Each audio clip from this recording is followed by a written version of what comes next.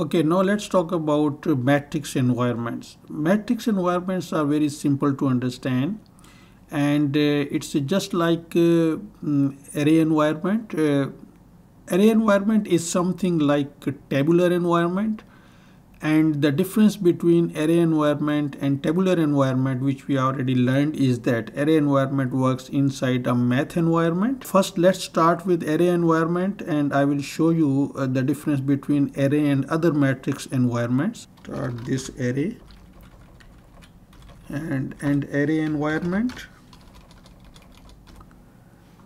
And let's delete all this and we start the math environment here and end the math environment here. So now this array environment just like tabular environment it takes argument. So argument means we have to tell how many columns. So let's say we have three columns and these columns are center aligned so therefore C and now let's put the entries first. So one and then the second uh, ampersand and then the second entry and then ampersand and the third.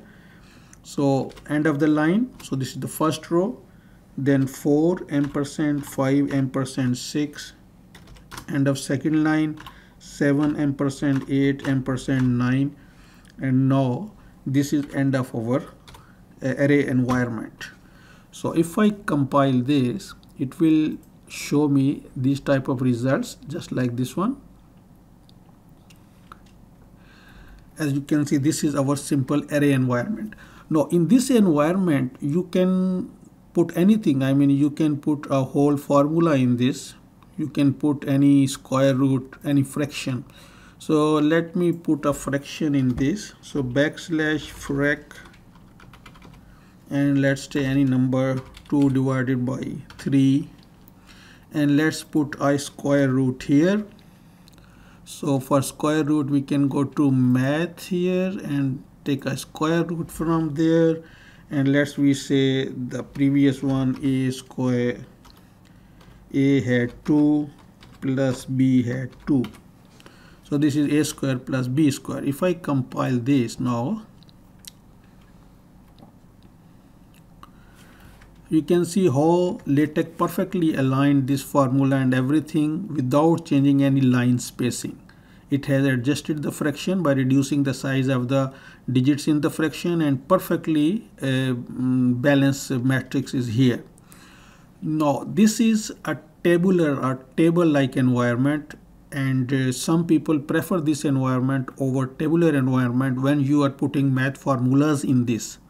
So it's up to you and you can use this environment. If you want to put these lines so it's very simple.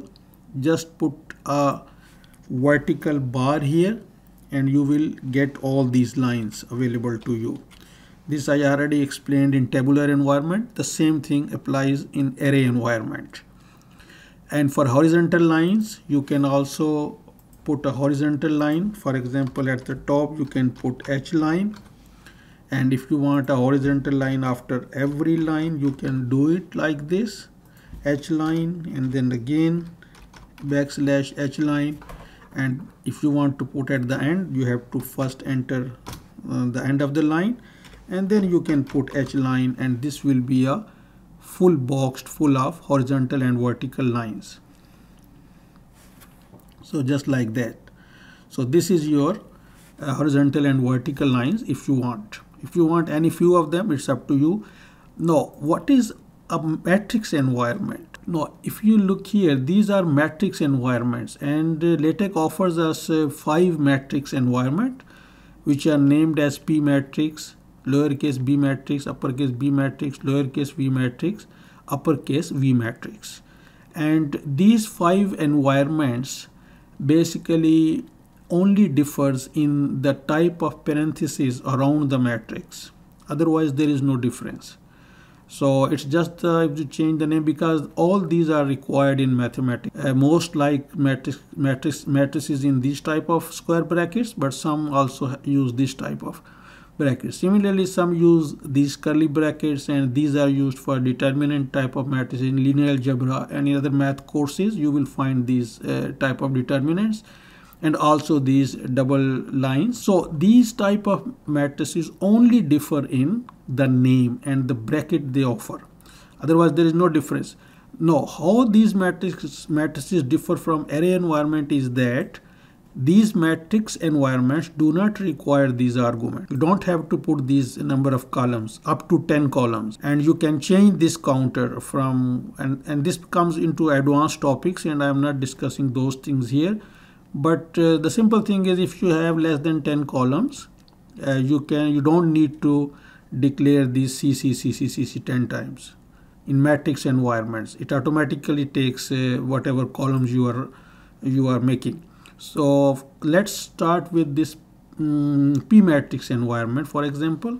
So what I do instead of array, I write P matrix and then I don't put any of these arguments. And let's say I, because in matrix we don't have these horizontal lines, so just remove this. It will look really ugly in matrix environment.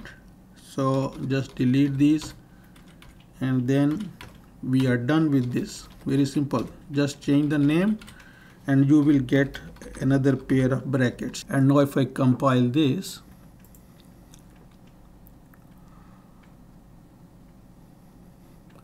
you get this P matrix. Now there is no difference in any of these. If you want B matrix, this one, you just change this to B matrix and you will get another type of bracket.